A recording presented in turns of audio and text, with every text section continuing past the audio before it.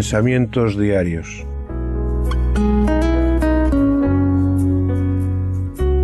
Sencillas pero profundas reflexiones para cada día de nuestras vidas. Meditaciones de la palabra de Dios nacidas de un corazón agradecido por su gracia y misericordia. Pensamientos diarios.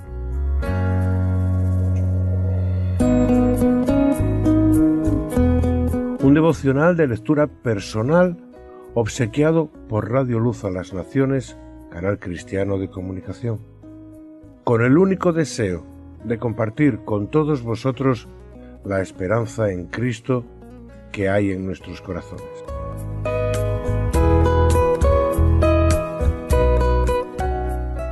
De lo profundo de la noche nace el alba.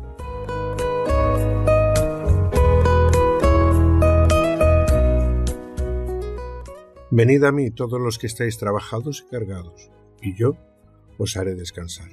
Evangelio de Mateo, capítulo 11, verso 28.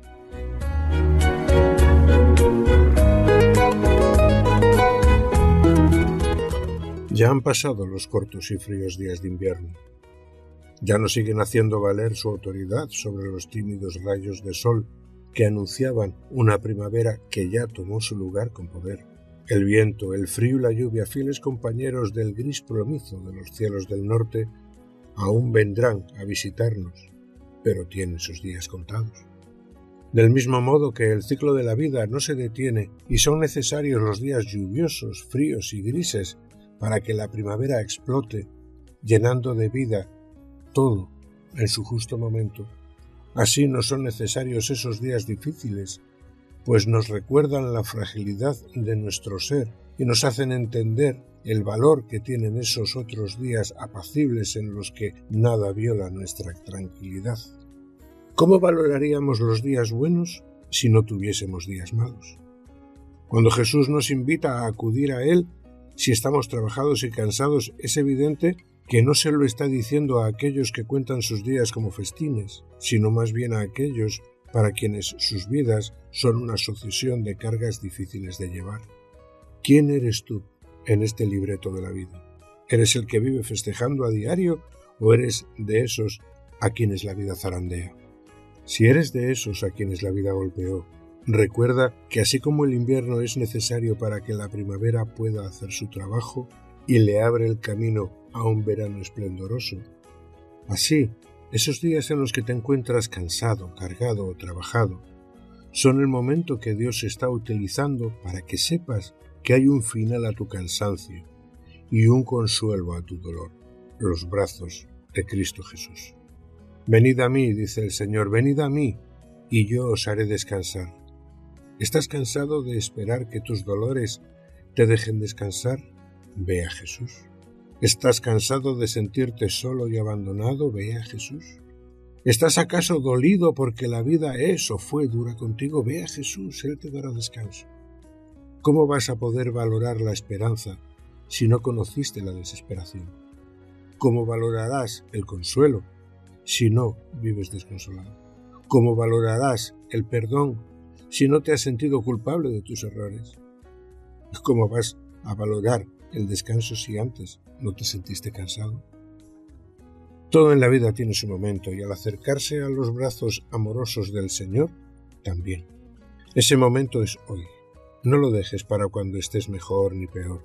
Él te llama hoy, Él te invita a descansar de tus temores hoy, de tus dolores hoy, te invita a olvidar tus miedos hoy, te quiere enseñar que todo lo que vives hoy son solamente promesas de una vida mejor una vida libre de todo lo que te oprime y amenaza, una vida eterna con tu Salvador, una vida con Jesucristo. Por la misericordia de Dios no hemos sido consumidos, nunca decayeron sus misericordias. Nuevas son cada mañana, grande es tu fidelidad. Lamentaciones, capítulo 3, versos 22 y 23. Nuevas son cada mañana las misericordias que Dios derrama sobre nosotros a diario. Cada día es un caudal de nuevas oportunidades donde hallar el descanso y la paz que vienen de él. ¿Cómo ver entonces la noche o esos tiempos duros de la vida? Como un lugar frío y oscuro donde todo es incierto y no ves llegar la luz? ¿O un tiempo y un momento en el que todas las promesas de Dios para ti están más cerca que nunca? En la lucha que mantiene a diario la incredulidad y la esperanza por reinar en tu corazón, ¿quién obtiene la victoria? No permitas que el enemigo de toda verdad, el diablo, te engañe diciéndote que Dios se olvidó de ti. ¿Crees en verdad que Dios te va a olvidar? Escucha esto. ¿Se olvidará la mujer de lo que dio a luz para dejar de compadecerse del hijo de su vientre? Aunque olvide ella, yo nunca me olvidaré de ti. Libro de Isaías, capítulo 49, verso 15. Pon tu vida en las manos de Dios y recibe a Cristo como el Señor de tu vida. Y si ya lo hiciste, no permitas que la incredulidad o el desaliento se adueñen de tu corazón. Levanta tus manos y adora a aquel que decidió abandonar el cielo para venir aquí a rescatar tu alma. Disfruta del gozo de tu salvación. Que Dios te bendiga. Pensamientos diarios. Meditando en la palabra de Dios.